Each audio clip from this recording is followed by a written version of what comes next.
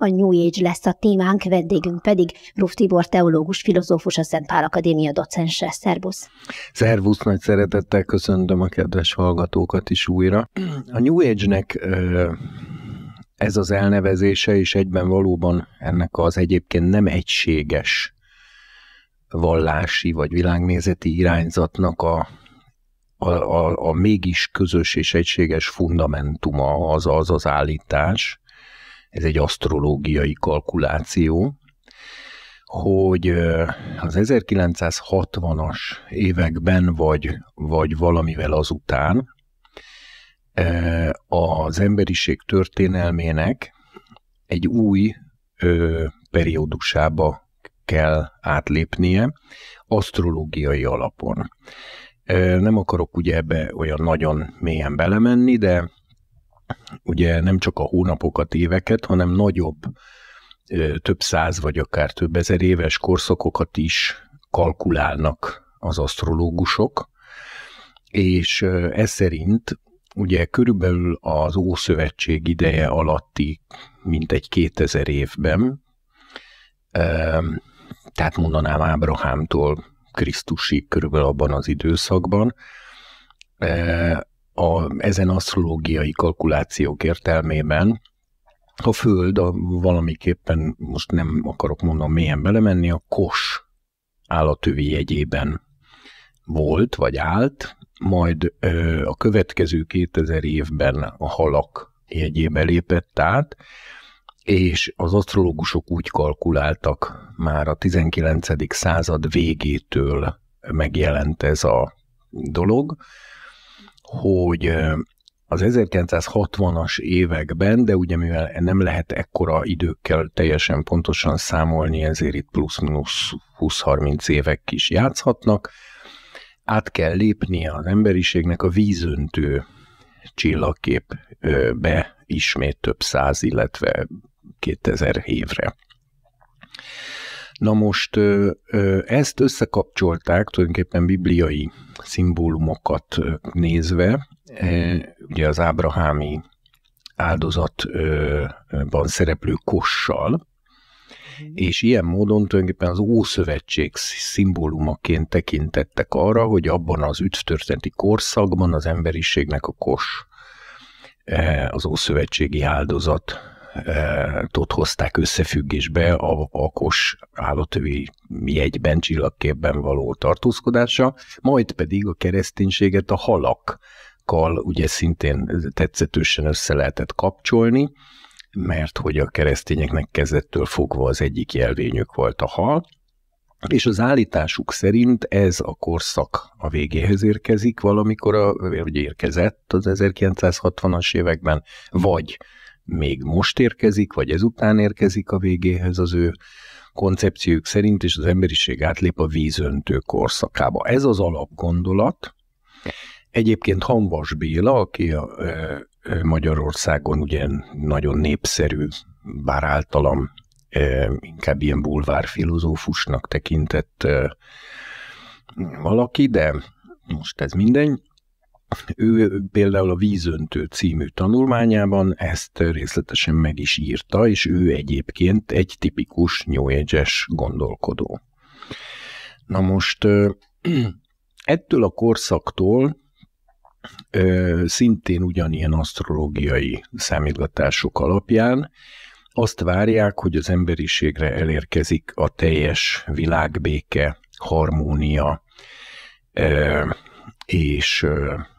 hát általában szinte tulajdonképpen azok, amiket a keresztények az ezer éves királyság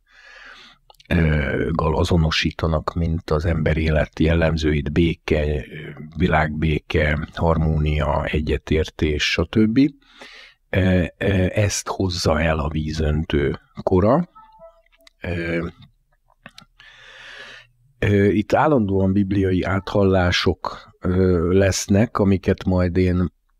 majd később erre rátérhetünk, hogy ez hogy lehetséges, de ugye a New Age az alapvetően az összes vallás egyesítésére törekszik, tehát ez az alapcélja, illetve az összes létező vallás közös lényegét, mert a New Age-eseknek az, az, az szintén egy alapállításuk, vagy egy alaphitük, hogy az összes vallás valójában ugyanarról szól, és nincs közöttük valódi ellentét, hanem csak látszólagos ellentétek vannak, ezeket ki kell küszöbölni, és akkor az összes vallás lényegileg egyesíthető beleértve a kereszténységet is, ezért aztán ők ö, például akár a vízöntő szimbólumát úgy, mint a halakat meg a kost, összekapcsolják akár például a Szent Szellem kiáradásának a képével is, tehát ők mindent igyekeznek beintegrálni, a kereszténységet is, de egy olyan egységbe, amiben a hinduizmus, a taoizmus, a buddhizmus, az animizmus, a különböző törzsi vallások, egyszerűen minden létező vallás, filozófia, pszichológia, tehát a freudizmust is bele lehet integrálni, a marxizmust is bele lehet integrálni, majd erről később esetleg, hogy hogyan. De hogy mondjak egy egészen közismert dolgot, van a Hair című musical, ami ugye tulajdonképpen a hippi mozgalomnak egy kultuszfilmje illetve kultúr eredetileg musical, de aztán ugye film. Ennek a, a nyitó dala az az Aquarius, azaz Vízöntő című dal, amit eh, ott a film elején a Hyde Parkban, vagy nem Hyde, a Central Parkban egy, eh, egy eh, hölgy énekel, ahol ugye ott, ha azt valaki azt a dalt meghallgatja, akkor tulajdonképpen teljesen képbe is kerül rögtön a New Age alaptanításával, mert ott ő pontosan erről énekel, hogy elérkezik a vízöntő kora, harmony and understanding, harmónia és megértés, és béke jön az egész világra, stb. És nem véletlen, hogy a 60-as években induló hippi mozgalom és az amerikai ellenkultúra az első pillanattól fogva hivatkozott erre a, erre a koncepcióra, tehát erre az asztrológiai alapú számításra, hogy ennek a váltásnak a 60-as években el kell kezdődnie, aztán befejeződhet akár egy évszázaddal később is, vagy még tovább, de mindenképpen a váltást 60-as évekre tették, hogy elindul. Ezt egyébként már a 19. század második felében különböző európai csoportok, elsősorban ilyen okkultista társaságok, akik gyakorlati okkultizmust, tehát konkrét valódi spiritizmust, halott idézést, szellemidézést végeztek. Ott már ilyen transz állapotban születtek kifejezetten profétáló jellegű, tehát kinyilatkoztatása tekintéllyel fellépő proféciák, ezek közül talán a leghíresebb a Madame Blavatsky féle profécia, amelyik egészen részletesen és hosszasan tárgyalja ennek a vízöntő korba való váltásnak a, a sajátosságait, egy ilyen szinkretisztikus vallási rendszerben, és az egészet úgy adja elő, mint ő egy médium volt, tehát mint aki ezt nem magától mondja, hanem ott egészet kinyilatkoztatásból vette. Erre a kinyilatkoztatásra aztán más európai ilyen okkultista társaságok is rácsatlakoztak. Itt nagyon fontos megemlíteni a teozófiát, ami egy korábbi irányzat volt, de tulajdonképpen a New Age abból fejlődött ki. Maga az az eszme, hogy a kereszténység a végéhez ért, és egy új korszak kezdődik el, ami elhozza a világbékét, illetve az emberiség egy magasabb szintre emelkedik. Ez igazából először Nietzsche-nél jelenik meg, és tulajdonképpen az első igazán nagy New Age-es, hogy mondjam, ilyen előhírnöknek Nietzsét kell tekinteni, aki ugye a legmélyebb értelemben felszólított a zsidó-keresztény tradíciónak a, a túllépésére, tehát a, az azon való túlépésre, és számos olyan gondolatot már ő megfogalmazott, ugye ő is táplálkozott a keleti vallásokból, e, e, elsősorban buddhizmus, hinduizmus, zoroastrianizmus, taoizmus ilyenekből, és már ő meghirdeti ezt az úgymond evolúciós ugrását az emberiségnek, de ő ugye nem kötötte ezt konkrét időponthoz, csak úgy, hogy nagyjából ez valamikor a közeljövőbe bekövetkezik, mert hogy a kereszténység, az európai történelmi kereszténység véglegesen csődbe jutott. Ugye az ő értelmezése, meg hát akkoriban sokak értelmezése szerint. Na most a, erre épült rá aztán, ugye nagyon nagy divatja volt a 19. század második felében, ez a német romantikának is köszönhető, amelyik nagyon nagy erővel dobta felszínre ezeket az őspogány mitoszokat, itt gondoljunk a Wagner operákra, Schopenhauerre, aki ugye még Nietzsét is megelőzte, meg más német romantikus gondolkodókra, akik kifejezetten célként kitűzték az őspogány hitnek a felélesztését szemben a kereszténységgel. Ugye Nietzsche például Wagner lányát vette feleségül, tehát ez egy, ez egy közös alkotó társaság is volt ráadásul,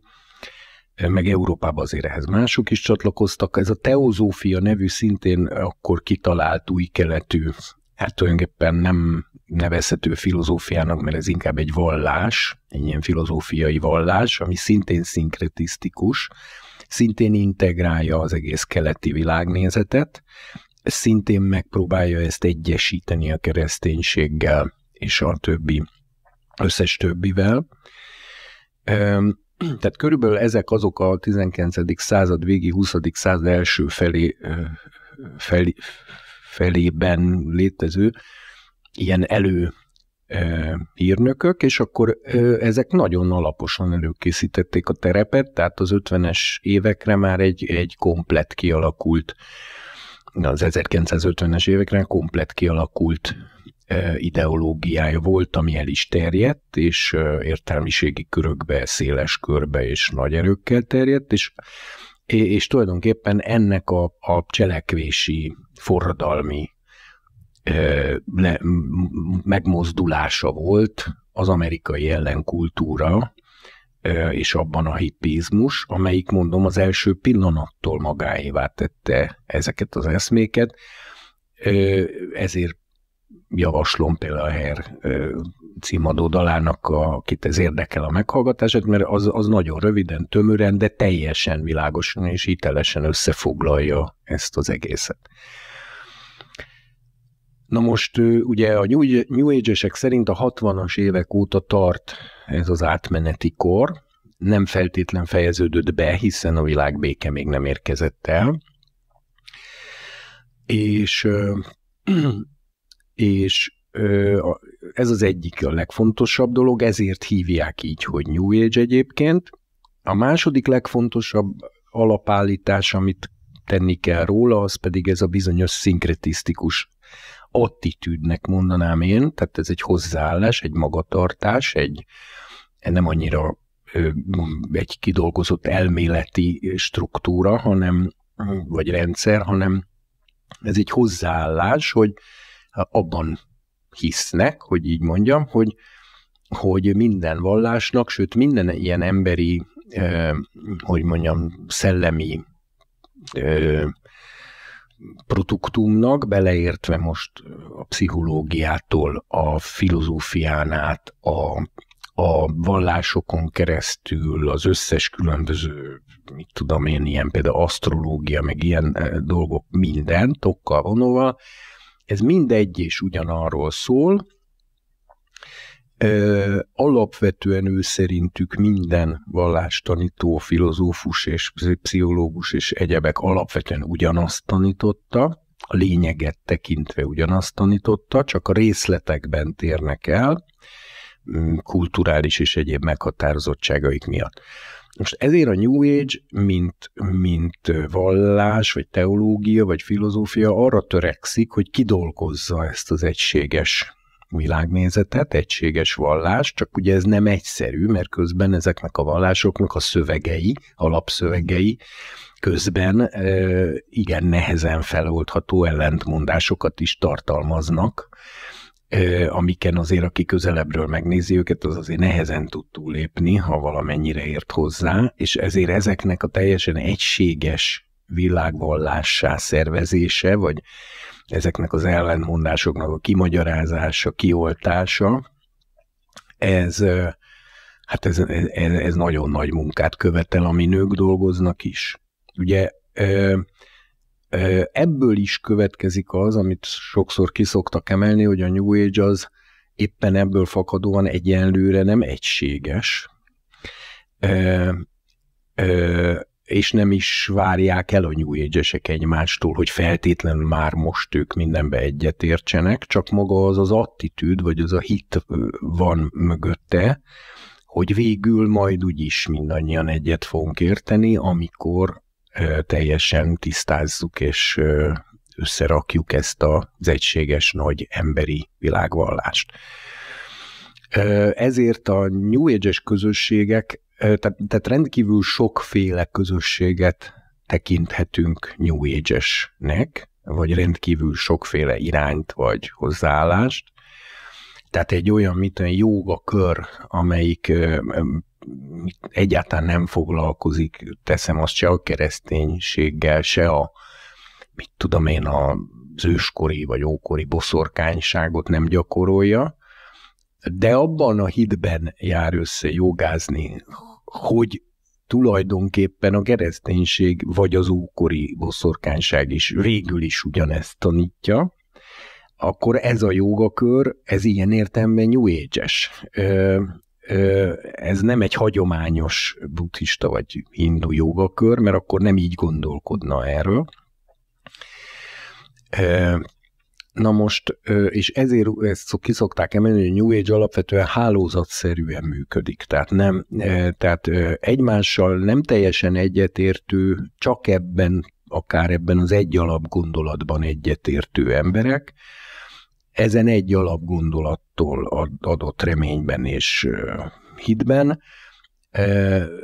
keresik egymással a kapcsolatot, és végzik ezeket az egyeztetéseket. Ugye ők azt mondják, hogy az, hogy, a, hogy az összes vallások teológiáját racionálisan nem lehet egyeztetni, mert tele vannak ellenmondással egymással szemben, ez nem probléma, mert ők azt mondják, hogy ez az egység a vallások között, ez spirituális jellegű, és éppen ezért irracionális jellegű, tehát ha nem is tudjuk megérteni, hogy miért nincs ellentmondás mondjuk Muhammad és Jézus Krisztus tanítása között, vagy mondjuk, hogy durvábbat mondjak, mit tudom én, egy, egy mai vikka boszorkánynak és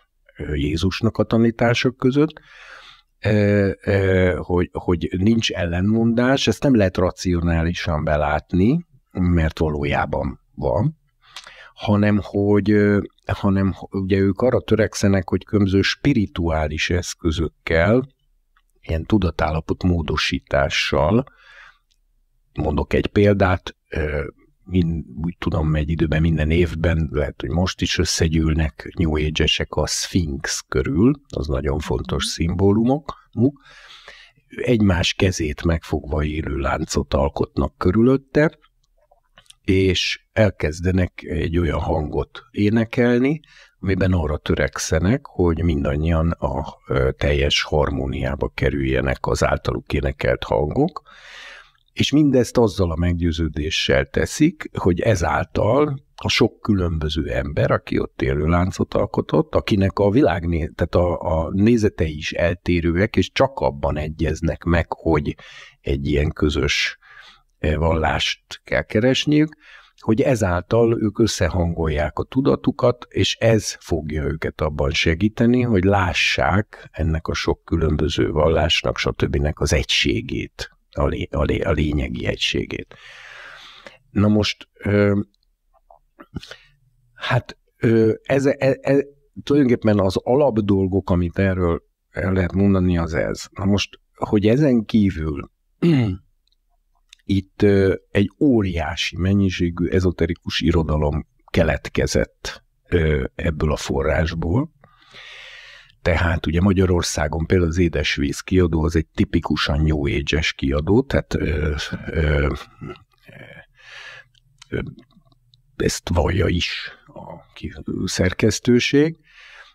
és akkor megnézzük, hogy ők mit adnak ki, mondjuk kezdve attól, hogy a ibolyakég aurájú gyerekek születnek mostanában, akik a zégnek a küldöttei, és ezért bármilyen hisztisen viselkednek nekünk, felnőtteknek engedelmeskedni kell nekik.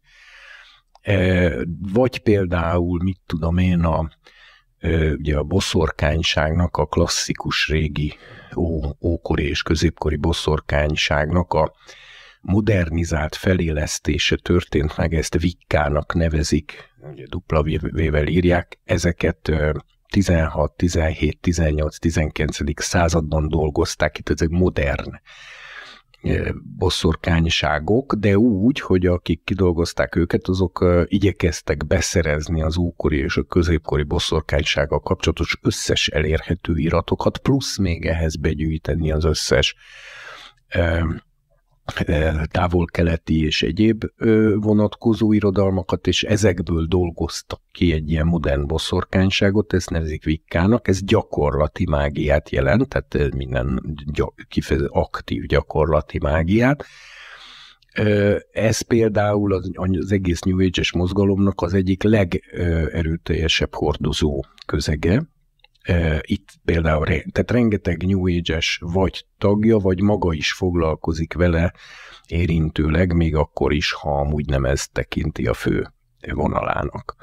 Ilyen sámánisztikus elemeket is tartalmaz. Hát ez, ez most arról beszélek, mert amit ugye mi, a, amit az, ó, az ókori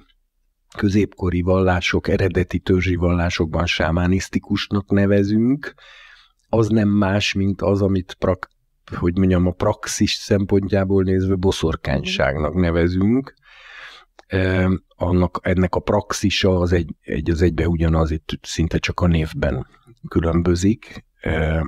Ugye sámánizmusnak akkor nevezzük, amikor ez egy eredeti törzsi vallás. Az eredeti törzsi vallások azok még nem New age mert az eredeti törzsi vallások mindenek abból indulnak ki, hogy a szomszéd törzs az nem is ember, és ezért őket ki kell végezni. Tehát alapvetően a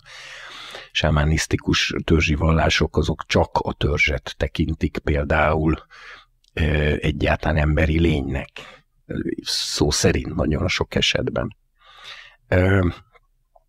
A New Age-es nem, mert a New Age-es az, az ez, egy, ez alapvetően ez egy modern gondolat, tehát ez nem egy mhm. de egy olyan modern gondolat, ami az összes ókori és középkori összes létező spirituális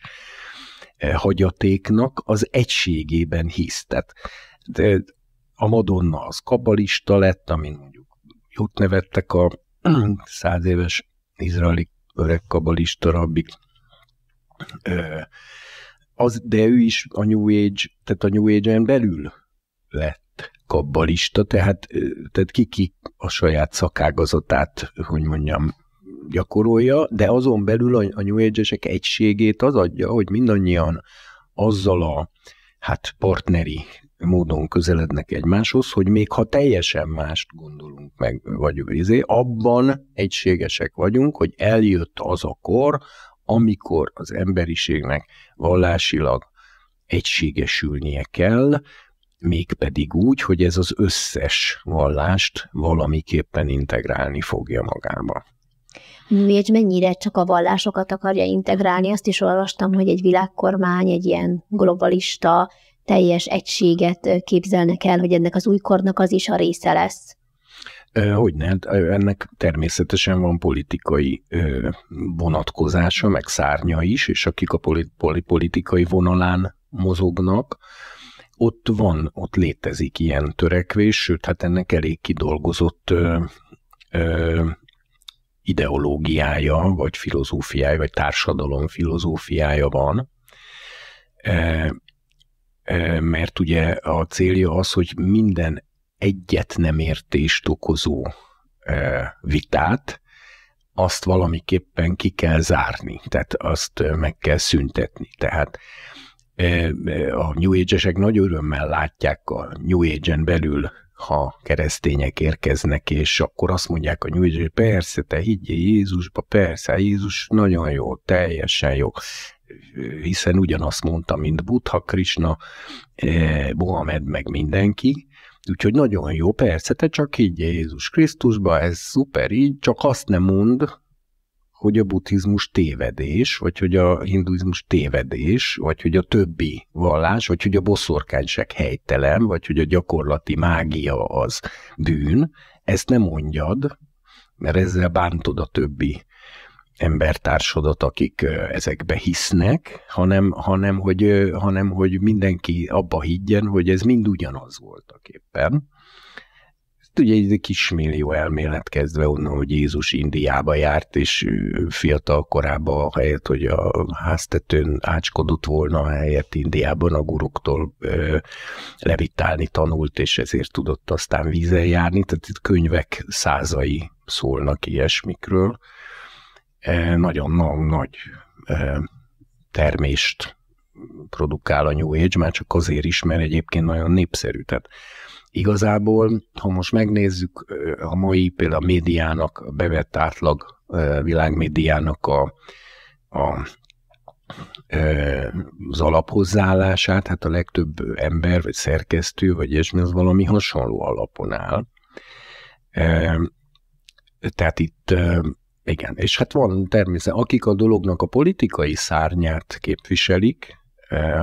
mert hát ugye itt most akkor még ebbe is bele lehet menni, hogy hát tulajdonképpen a New Age az szoros összefüggésben áll akár a szabadkönyves mozgalommal is, eh, nincs is nagy különbség közöttük, és minden további nélkül tulajdonképpen csak az a kérdés, hogy a szabadkönyvesség az New Age-es, vagy a New Age az egy szabadkönyves dolog-e, mert annyira erős a rokonság. És természetesen ezen ö, közösségeken vagy társaságokon belül, akik valóban a politikai hatalom ö, irányába ambicionálják magukat, meg a tevékenységüket,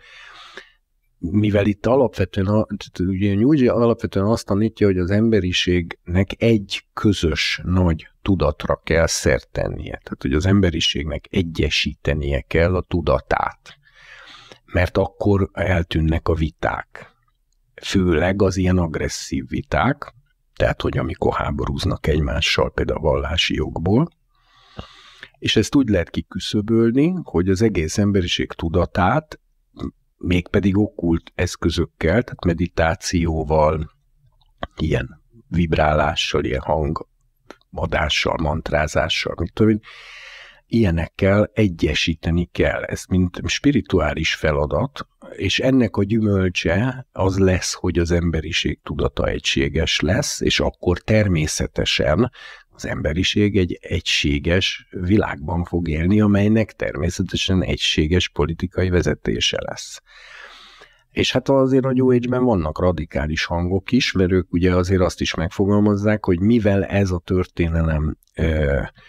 megakadályozhatatlan kerekének a, az előrefordulása. Ezért a történelem egyszerűen ki fogja lökni magából azokat, akik ennek nem engedelmeskednek. Tehát magyarul, aki továbbra is fenntartja, hogy például egyedül Jézus az út az atyához, és Buddha nem út az atyához, ezeket az embereket, vagy, a, vagy bármi más hasonló ilyen, ilyen vitatkozós, ilyen konfliktusos embereket, ezeket ki fog lökni magából ez a világtudat, ők ki fognak esni az emberiségből, erről részletes koncepciók vannak. Még olyan koncepció is létezik, hogy egyszer csak eltűnnek, mert a téridő kilöki őket magából, és ez azért érdekes, mert például egy elragadtatást ezzel remekül meg lehet magyarázni. Nekem egyébként az a véleményem, ez nem, senkinek nem kötelező elfogadni, de nekem, hát mondanám, nagyon mély meggyőződésem, hogy a New Age a majd teljesen kibontakozó formájában az maga az Antikrisztus vallása. És én egyébként úgy gondolom, hogy a, a, az Antikrisztusnak a vallási zsenialitása, mert ő egy zseniális figura lesz, ez biztos, csak nem a szó jó értelmében, a vallási, filozófiai vallási zsenialitása az abban fog állni, hogy ő meg fogja oldani azt, hogy egységessé teszi az összes létező vallást. És ezáltal integrálni képes a saját hatalma alá, már így tudatilag, vagy szellemileg, minden olyan buddhistát, keresztényt, hindut, poszorkányt, sámánt, ö, ö, mit tudom én, taoistát, konfuciánust és, és, és voodoo varázslót, és mit tudom, mindenkit, zsidót, mindenkit, aki ö, nem tartja fönn azt a hitét, hogy vannak hamis istenek, és vannak hamis kinyilatkoztatások. Tehát aki nem akar különbséget tenni e tekintetben, azokat mind be tudja fogadni. Nyugodtan lehet az illető gyakorló katolikus, vagy bármi, nincs az a probléma, hiszen mindaz, amit ott csinál, teljes mértékben illeszkedik a New Age-nek a, a világnézetébe. Csak azt az egyet nem mondja, hogy Jézus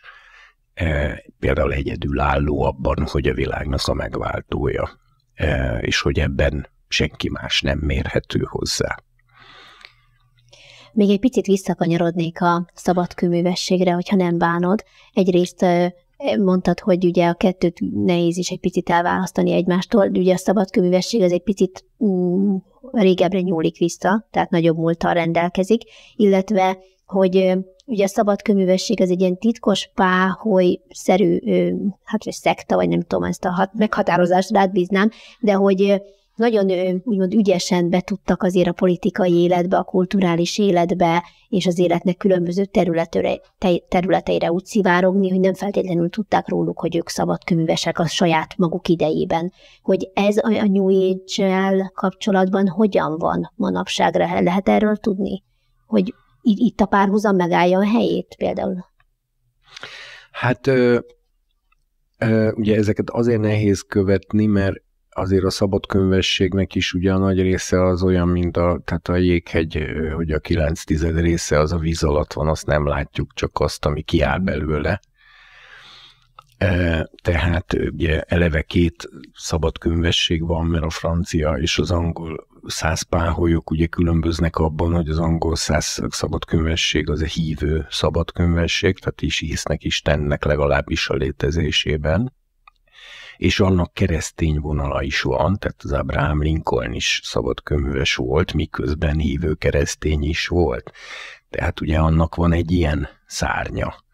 E, e, és nem hiszem, hogy a Lincoln bármiféle ellentétet látott a kettő között akkor e, még, e, vagy az ő helyzetéből. A francia szabadkönyvesség az viszont hagyományosan ateista, tehát kifejezetten istentagadó, ezért itt már különbség van azért a kettő között, és akkor ugye, ha most még, a, még, még nehezebben feltárható zűrös társaságok, mint például az illuminátusok, akik, akik azért mai napig nem teljesen tisztázott, hogy voltak éppen ellenséges viszonyban állnak a szabadkönyvesekkel, vagy pedig azonosak a szabadkönyvességgel, tehát ugye ne, ezekben nehéz belátni ezekbe, mert annyira erős átkokkal védik a titkaikat, hogy ezért a, akik már benne vannak, azok még ha, még ha abba hagyják, vagy kiszállnak, akkor se nagyon merik elmondani, hogy mi van, és ezért rengeteg a találgatás. Az biztos, hogy a New Age-nek bizonyos eszméit arról, hogy például világkormány felállításával kell az emberiség egységesítését elősegíteni, tehát nem elég csak vibrálni, mantrázni, hangokat adni és meditálni, hanem ezt tevékenyen politikailag is elő kell mozdítani. Ez nyilván a New Age-en belül ez csak egy szárny, tehát rengeteg boszorkány és ibolyakék gyerekeket látó ember van, aki nem foglalkozik a világkormányjal, de azért a hite szerint New Age-esnek tekinthető, és vágyik az emberiség ilyen egységesülésére. Hát ugye erre, ez az, amire azt szokták mondani, hogy a pokolba vezető út is jó szándékkal van kikövezve, mert nyilván mindenki vágyik arra, hogy ne legyenek háborúk, és hogy békében tudjon az emberiség élni. A gazdasági életről egyébként van valamilyen elképzelésük, mert most itt említetted, hogy a háborúkra szoktak hivatkozni a leggyakrabban, hogy ugye azért kéne, hogy egység legyen a vallások között, azért a háborúknak oka szokott lenni a hatalom, a pénz, a vagyon. Tehát, hogy erre vonatkozóan van valamilyen tanításuk, hogy ők hogy képzelik el mondjuk az ember, az emberiségnek a gazdasági berendezkedését? Hát gyakorlatilag szinte biztos, hogy van, mert nyilvánvaló, hogyha valaki New Age-es világnézetű, de közben például gazdasági szakember, akkor ezzel kapcsolatban fognak születni koncepciói. Azt nem tudom, hogy egységes koncepció létezik-e, mert újra hangsúlyozom, Egyelőre a New Age az nem egységesült. A New Age az olyan, mint amikor elkezd befagyni egy pocsolya, és a szélei felől kezd befagyni, de középen még nem ért össze a kristályrács, hogy így mondjam. Azért is mondom, hogy ez egy, ezt el kell ismerni, hogy ez egy korszellem, tehát most független attól, hogy ezt ilyen médiumok ö, profétálták meg ö, teljes mértékben ilyen spiritista transzban, és az egész dolog igazából innen indult ki. Én nem gondolom, hogy egységes gazdas, tehát nem, általában ha a New Age-ben ma valaki egységes, már egységes gazdasági, politikai, vagy akár vallási, vagy ilyesmi, egységes, átfogó dogmatikát, vagy hogy mondjam, egy ilyen elméleti rendszert keres, ez nincs még meg. Én úgy gondolom, hogy ezt az Antikrisztus fogja megalkotni. Az Antikrisztus fogja befejezni a New Age-nek a, az elkészítését, mert ahhoz azért kell egyfajta filozófiai zsenialitás, meg, meg teológiai, meg nyilván politikai, meg gazdasági, hogy valaki ezt, az egész, ezt, az, e, ezt a rendszert végül tényleg teljes egységben fölállítsa. Ugye, hogy beszéltünk róla, hogy már évtizedek óta azért ez készül, vagy, vagy ahogy mondtad te is, hogy fagy be a széle annak a pocsolyának, hogy azért ezt lehet látni, szerinted akár mondjuk, ha te nézel egy híradót, akkor te azért meg, meglátod benne, hogy na ez éppen egy erre tett erőfeszítés, mondjuk egy Persze, hát, az ember, hogyha most erre figyelnék mondjuk, akkor azt mondhatnám, hogy naponta kétszer-háromszor biztos, hogy érintkezem valamilyen olyan mondattal, vagy olyan szöveggel, akár olvasva, akár képernyőről, akár beszélgetésben, ami rebelül az a, a hogy mondjam, az a benyomásom, hogy vagy az nem több, mint benyomás, tehát hogy tudom, hogy ez egy New Age-es szöveg. Hát most például a Hanvas Béla nak ugye van egy fő műve, ez a Sciencia Szakra, Szent Tudomány. Ez egy teljes nagy elméleti rendszer ennek a vallási szinkretizmusnak az összerakásáról például. Hmm, újra mondom, én nem tartom Havas Bélán nagyon magas színvonalú filozófusnak, de azért el lehet mondani, hogy mondjuk filozófiai szinten ki van dolgozva. És hát ez, ez 60-as 60-as évek Magyarországot, ugye Hanvas az nagyon ráérzett a,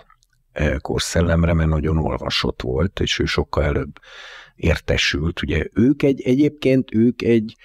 egy társaságot is képeztek, amiben ugye ilyenek voltak még benn, mint a Vörös Sándor, a költő, a határgyőző, aki egy ö, ismert író, akkor a Szent Kuti Miklós, meg mások, ők abszolút New Age-es eszméket vallottak, magas színvonalon egyébként én beszélgettem, például Freudot, Jungot, tehát az elvileg úgymond ateista pszichoanalízist, azt minden további nélkül elméleti síkon is egységesíteni lehetne, főleg a Jungot. Például az egész ókori e, sámánisztikus világnézettel. Vagy például az antropozófia, a Rudolf Steiner által kidolgozott, ami a teozófia szintén már eleve gyakorló okkult irányzatának egy tovább módosított verziója, azon tulajdonképpen egyfajta animisztikus világszemlélethez való visszatérés, és a Waldorf ugye például az egyik legfőbb képviselője, aki, és az egész Waldorf oktatási eszme, az egy antropozófiai, de ilyen módon egyúttal egy New Age, ez egy New Age-es eszme, és amikor a Waldorf óvodában a gyerekek a reggelit megköszönik a napnak, meg az esőnek, meg a földnek, és, és megköszönik, és állandóan arra tanítják őket, hogy beszélgessenek a nappal, az esővel, a földdel, a fákkal, a stb., akkor ez törölmetszett New Age. Érkezett itt közben még két kérdés, azt én gyorsan föltenném neked, és akkor azt kérdezik, hogy a New Age és a Disney milyen kapcsolatban van egymással, a gyerekek elérése ezzel a felfogással megvalósul-e? Ugye Disney mesékben felelhető a New Age. Erről, so, er, er, én nem tudom, tehát én konkrétan informatíve nem tudom azt, hogy a Disneynek milyen magának az embere, a Walt Disneynek, vagy az összes későbbi munkatársánk, vagy bárkinek volt-e és milyen kapcsolata volt a New Age-el, ezt sajnos nem tudom. Ö, ö, én így direktbe a Disney mesefilmekben most nem tudnék fölidézni olyat, ami kifejezetten New Age-es, de egyébként azon meg nem lennék meglepődve, ha ma már a rajzfilmek, meg az ilyen filmeknek a 90% akkor is New Age-es eszméket közvetít, ha nem a Walt Disney csinálta. Mert egyszerűen ez a divat. Tehát ez most divat. Tehát a, a, a bulvár médiában elég megnézni bulvár újságok címlapjait. Hát miért, miért szerepel benne az, hogy a mit tudom én, kicsoda ö, ö, épp aktuális celeb az mondjuk milyen jegybe született. Ez nem egyszerűen csak asztrológia, hanem ez így ebben a formájában, ez már része egy teljes világnézeti, hogy mondjam, konglomerátumnak, aminek az egyik eleme az, hogy az asztrológiát is használja. De használja a számmisztikát is, meg használja a alkimiát is, meghasználja a buddhizmust is, meghasználja a meditációt is, meg elmondja a mi atyánkot is. Nagyon köszönjük, hogy segítettél jobban megérteni a New Age-nek a mi létét, és hát egy picit a korszellemet is talán jobban sikerül így értelmeznünk és megértenünk. Rolf Tibor, teológus, filozófus, a Szent Pál Akadémia docense volt a vendégünk. Köszönjük szépen. Én is köszönöm.